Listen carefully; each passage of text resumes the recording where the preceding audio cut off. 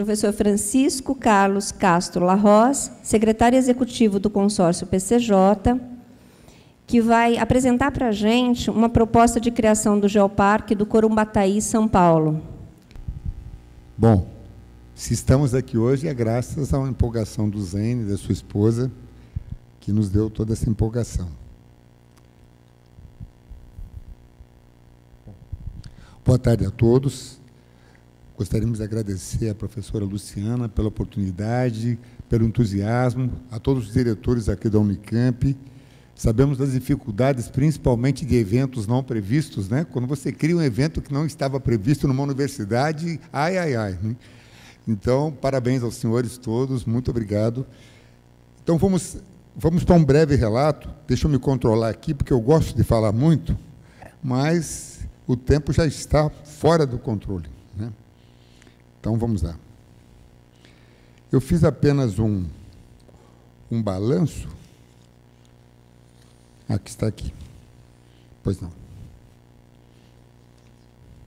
Não. Vamos lá. Bom, por que, que nós estamos aqui, né? Quem, quem é esse consórcio do Rio Piracicaba? O, o consórcio do Rio Piracicaba, embora tenha o nome do consórcio, é uma associação de usuários da água. E essa história que eu vou contar rapidamente do consórcio, ela já pode ser aproveitada para nós pensarmos numa sustentabilidade para uma iniciativa na Bacia do Corumbataí.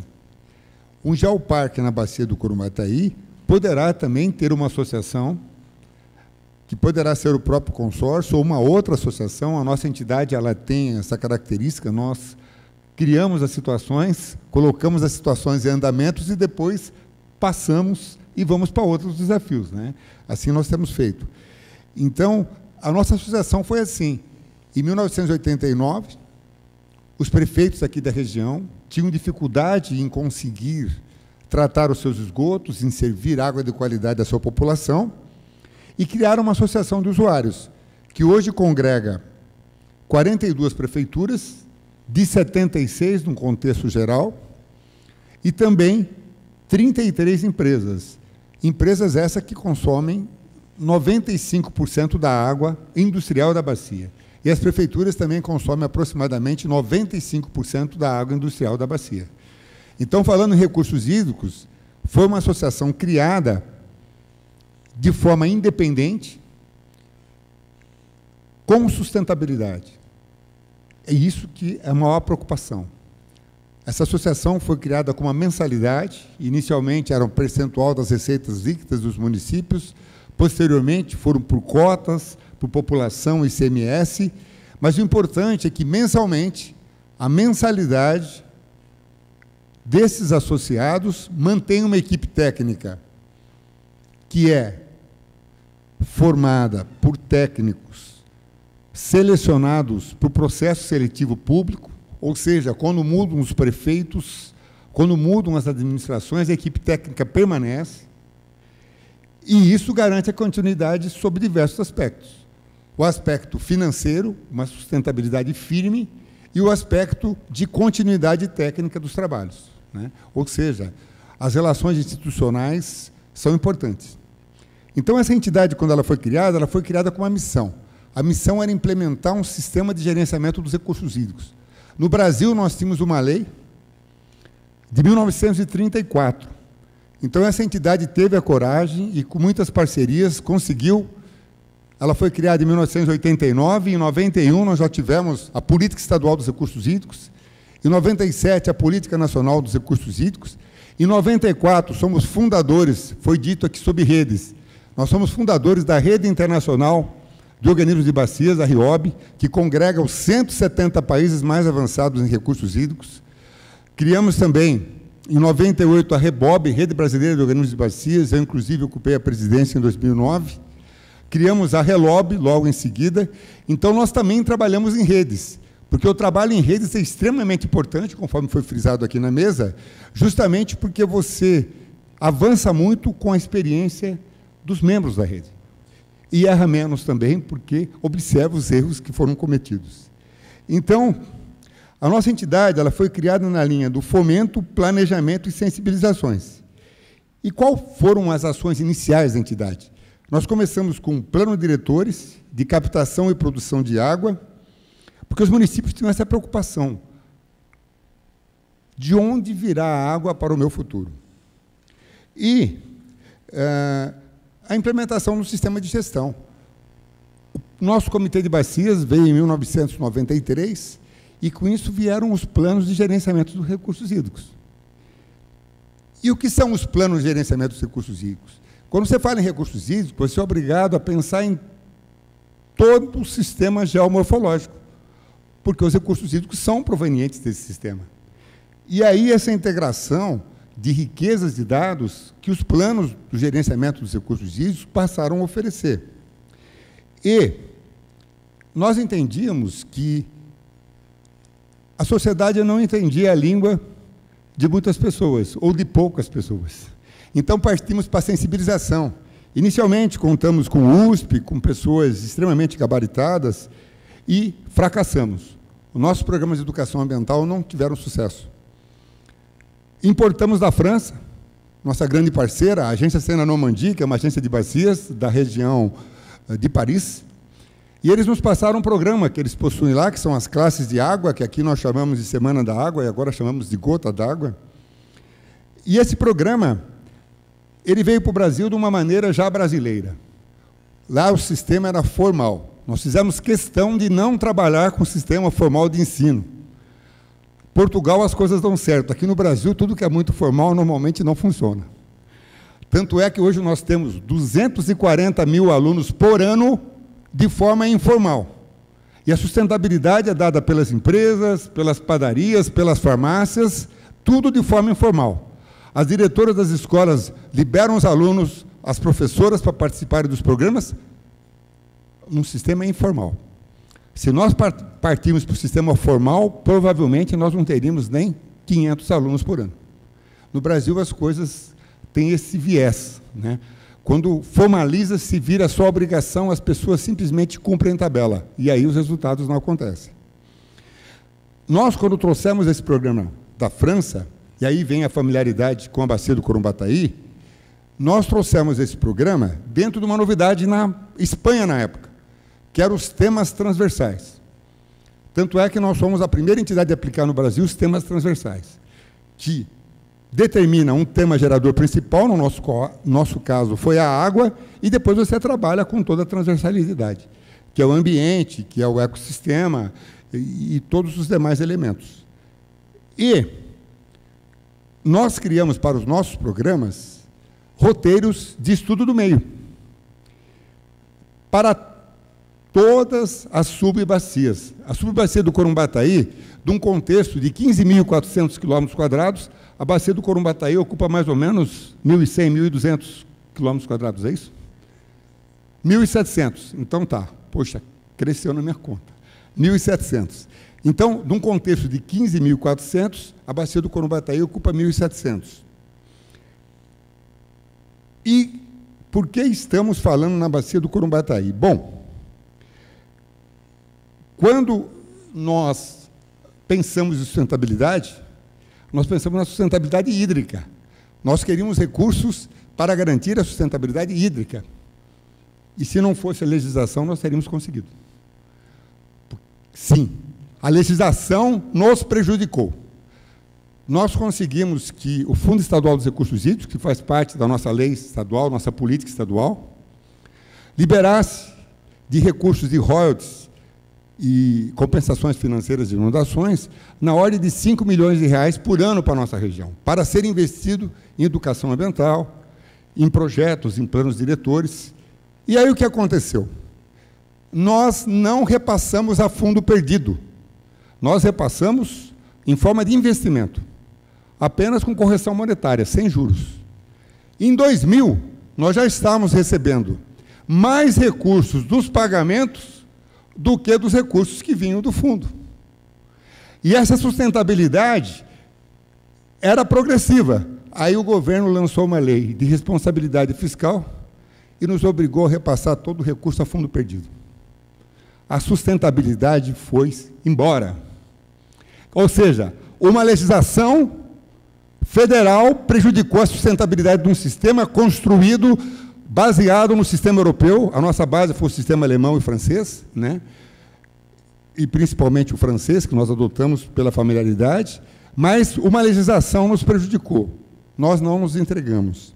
Aí nós criamos, a nossa entidade criou a cobrança voluntária pelos recursos hídricos.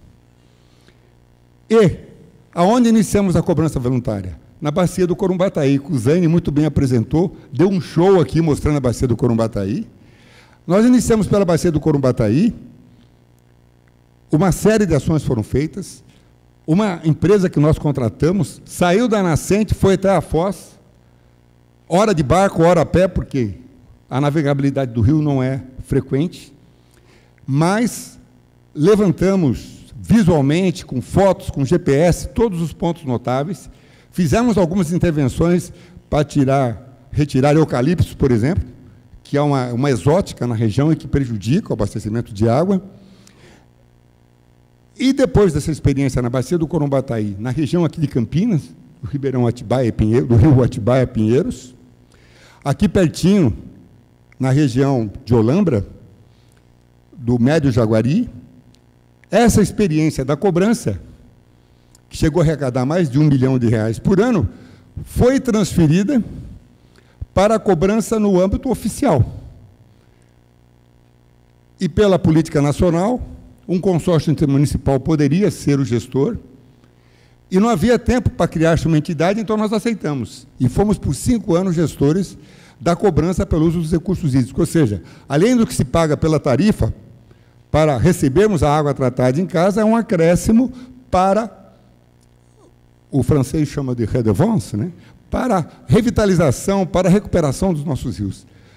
O resultado é que, em 2011, a nossa entidade entregou uma outra entidade composta, formada, para nos substituir. Nós criamos essa entidade e entregamos para o Comitê de Bacias essa entidade formada, já com um quadro de funcionários treinados, uma frota de veículos, enfim, e com uma arrecadação de aproximadamente 40 milhões por ano. Então, nós passamos essa experiência e voltamos para a nossa atividade de fomento, planejamento e sensibilização. Por quê? Porque o mote do consórcio é esse: não é gerenciar eternamente determinadas coisas, e sim ser uma entidade que cria novidades. Novidades para garantir a subsistência. O que aconteceu a respeito do nosso envolvimento com o Geoparque? Nós entendemos que, dentro daquela ideia dos temas transversais, que nós tínhamos que ir mais além. E o Geoparque, por leituras, nos trouxe essa possibilidade. Estivemos na Argentina, adentrando numa associação da Argentina e de toda a região, da região do Rosário. Nós somos membros daquela região em prol do gerenciamento dos recursos hídricos, e lá conhecemos a Sermira, que era diretora da Unesco para a América Latina. E falamos, Sermira, e o Geoparques? Ela já pegou o celular e ligou para a Denise, que é especialista. E aí, por favor, fique em pé. Guilherme, engenheiro Guilherme, e engenheiro Flávio, que na realidade eu estou falando aqui, mas quem trabalha são eles, sabe? Aí, o que nós fizemos? Nos informaram da experiência dos nossos queridos irmãos de Juazeiro, de Crato, que nos apresentaram aqui um show também, parabéns, parabéns pelo trabalho. Eles abriram as portas, Guilherme e Flávio estiveram lá, fizeram uma visita de alguns dias, e quando eles voltaram, eles voltaram ansiosos, porque eles não sabiam qual seria o segundo passo. Aí eles entraram na minha sala eu falei, por favor, vamos até minha mesa. O que tinha nas costas da minha mesa e nunca ninguém tinha percebido.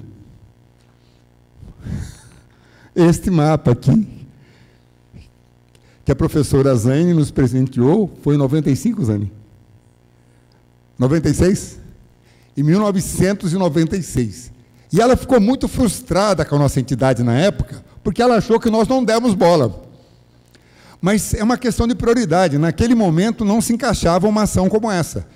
Mas eu acreditei tanto que eu coloquei atrás da minha mesa e todos os dias eu rezava uma oração de desculpas por, por não ter assumido esse compromisso.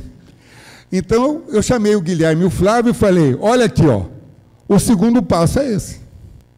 O segundo passo é um passo tranquilo. Por que é tranquilo? Porque a professora Zane, o professor Zane e todos os professores da Unesp não pararam nessa época desse mapa. Eles continuaram através das iniciações científicas, dos trabalhos de mestrado e doutorado, aprimorando, incrementando, orientando, sem recursos, com dificuldades, mas não pararam. E aí, procuramos o Zaine. A Denise da Unesp, da Unesco, nos disse assim: encaminhe uma amostra para saber se vocês podem ou não ter uma aprovação para iniciar um pleito, como já o parque. Não houve tempo de falarmos com o Zaine. Olha só o grau de organização da Unesp. Nós entramos no site da Unesp, os dois engenheiros aqui captaram as informações do site da Unesp, encaminharam para a Denise e ela encaminhou, eh, nos retornou, ok, estão aprovados. E nos remeteu uma série de documentos para serem preenchidos. Ou seja, a que ponto que eles estão avançados, que o próprio site, imagina se o site tem um nível de informações que já satisfaz a Unesco, imagina o, o acervo que eles possuem na própria universidade, ou os alunos individualmente, é uma maravilha. Aí o que, que nós fizemos? Procuramos novamente o Zaine, quando apareceram pessoas bem-vindas, né? presentes que a gente recebe.